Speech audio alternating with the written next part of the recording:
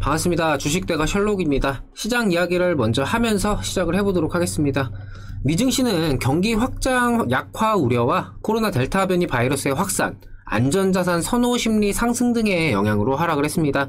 코로나 이전으로 빠르게 회복하고는 있지만 공급망 중단, 물류 지연, 고용 인력 부족, 상품 가격 상승 등이 위축 요인으로 작용을 하고 있는데 이로 인해 시장은 경기 회복세가 정점을 통과하는 피크아웃을 게 아니냐는 우려가 부각이 되었습니다.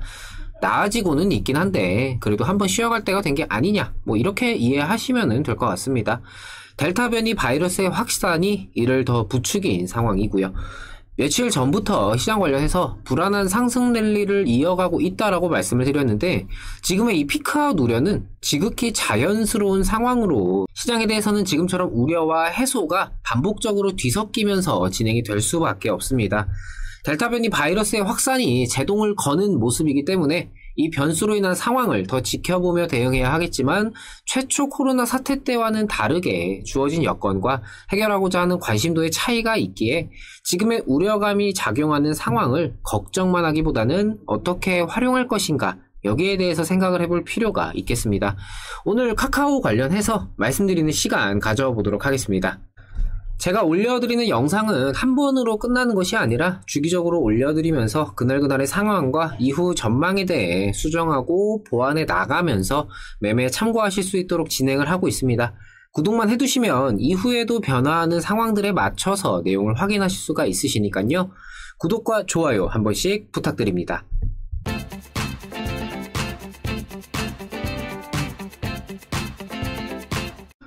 델타 변이 바이러스의 확산으로 인해 국내 코로나 확진자가 1200명대로 나오면서 관련 종목들이 기승을 부린 하루였는데요.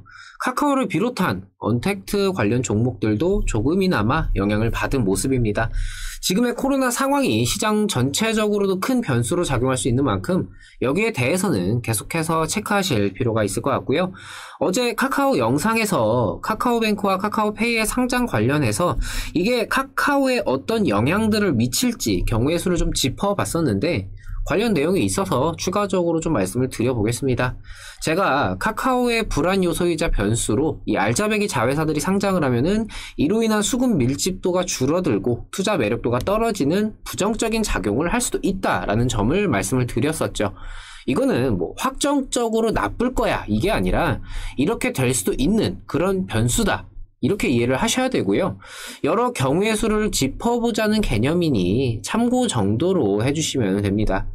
여기에 대해서 카카오의 core 비즈니스인 광고와 commerce는 여전히 카카오 본사에 남아있기 때문에 괜찮다. 뭐 이런 의견도 있는데 이거 뭐 저도 이전에 말씀을 드렸었죠.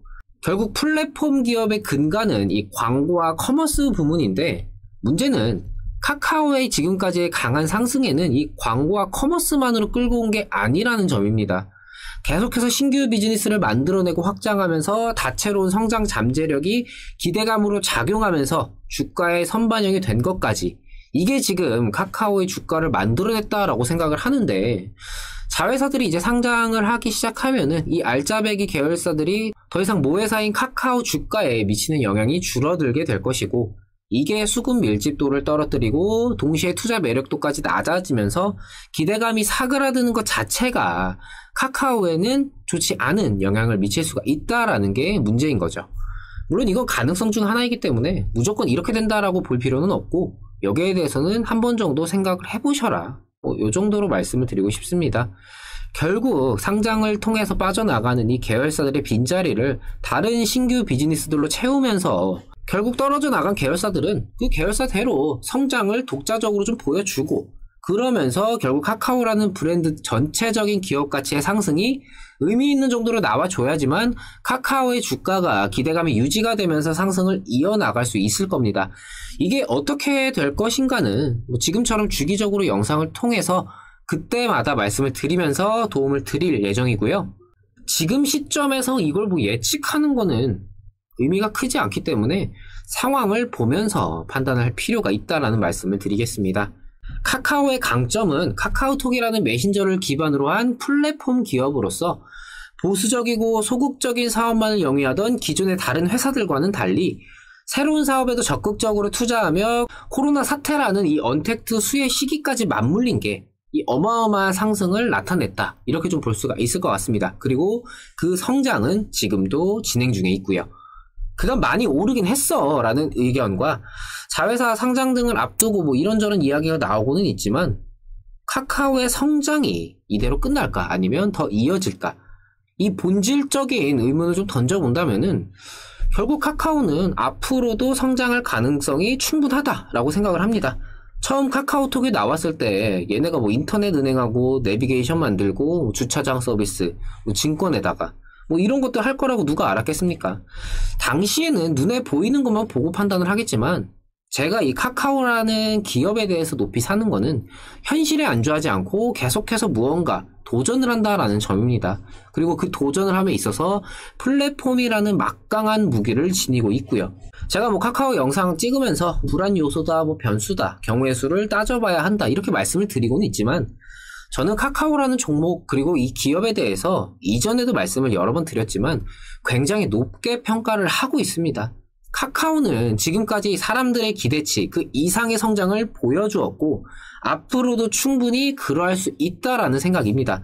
물론 언제나 안 좋은 경우를 반드시 생각을 해둬야 된다라는 관념을 좀 가지고 있기 때문에 부정적인 요소도 어떻게든 좀 말씀을 드리려고 하는데 기본적으로 카카오는 지금까지 좋았었고 지금도 좋고 앞으로도 좋아질 거다라는 생각에는 변함이 없습니다.